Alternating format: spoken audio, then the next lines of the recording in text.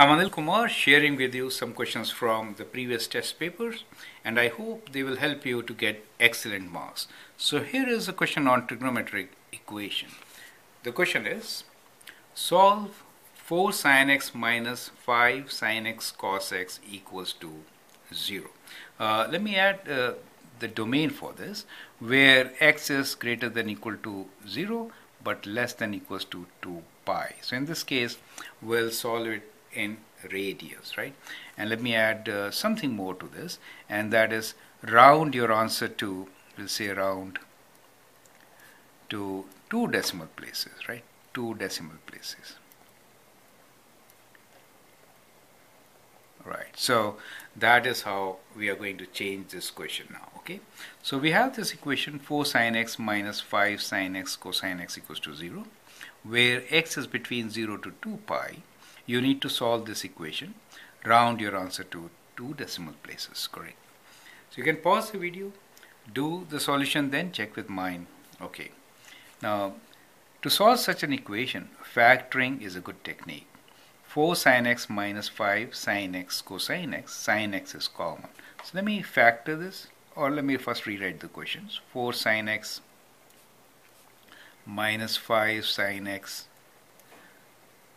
cos x equals to 0 so I'll factor sine x. Once I factor sine x I get 4 minus 5 cos x equals to 0 now these are the two factors. When multiplied will give us 0 it really means that we have uh, two sets of combinations. One could be sine x equals to 0 the other one could be 4 minus 5 cos x equals to 0. Sin x equals to 0 gives you how many solutions? Well, sin x equals to 0 gives you, within this domain of 0 to 2 pi, will give you three solutions. Let me sketch sin x and show you. It's very important at this stage when you're going for the test to see how to get all the possible solutions. So these are the three zeros for sin x. They're at 0, pi and 2 pi, right? But I changed the question. I wrote round to two decimal places. So don't write just pi, right? You have to write round the value to two decimal places. So I'm leaving it for now here.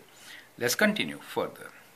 So you can pause the video, write down your answer and then check with my solution. Okay. Now here, let's rearrange, find what cos x is equals to. So what we get here is 5 cos x is equals to 4 and so we have cos x equals to 4 over 5 now how many solutions will that have? Now this thing should have uh, two solutions right? So this thing should have two solutions. So should I squeeze it in here? Okay. I should not but let me do it now. So two solutions since we know the CAST rule right? So cos x is positive two solutions could be one in quadrant 1 the other one in quadrant 2 you get the point right? So so we are expecting 2 from here right? So let me use the right half of the page and redo I mean rewrite what I wrote here. So we are looking for a couple of solutions. One for sine x equals to 0 the other one we are looking for cos x equals to 4 over 5 right? And we have already figured out the solutions for sine x equals to 0 we say x is equals to 0 pi or 2 pi in this domain right? And for cos x equals to 4 over 5 we know it is two angles. One is this angle and the other one is this much correct?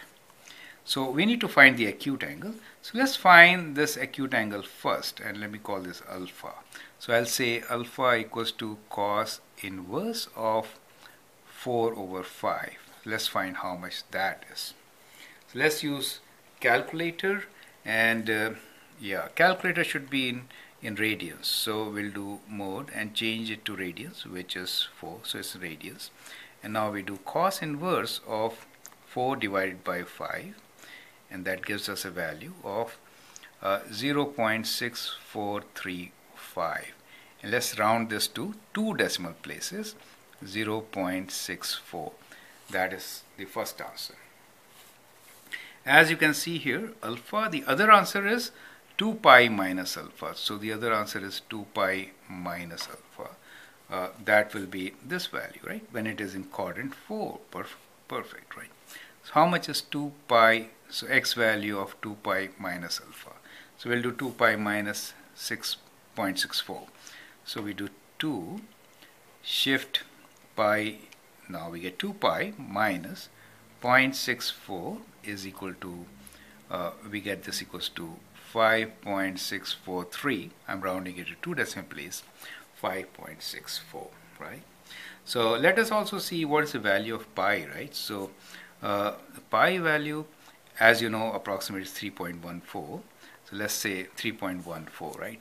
So let's write this pi round to two decimal places. So here what do we get values of x? 0. Rounding to two decimal places, I should write 0 Pi value, I should write as 3.14, right? When I multiply this by 2, I get 6.28. So I, the other way is 6.28. So these are the three x values which you get from the first part, right? So, and here you get two different solutions. These are your two solutions. At this stage, write down your answer very clearly if you really want full marks. So we get answer as 0 0.00, 3.14, 6.28, and then we have 0 0.64 and then 5.64 right so I'm very serious about this because I've made this change two decimal places and I've also seen students missing on this part and losing 0.5 marks I don't want you to lose 0.5 marks after doing all the things correctly right so make a note of this I hope you appreciate it I'm Anil Kumar. You can subscribe to my videos and learn the techniques of getting excellent marks. Thank you and all the best.